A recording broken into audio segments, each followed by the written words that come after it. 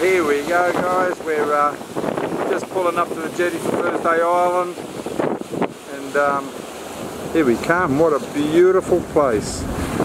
Look at that. Whack oh. Just absolutely beautiful. To be sure, to be sure.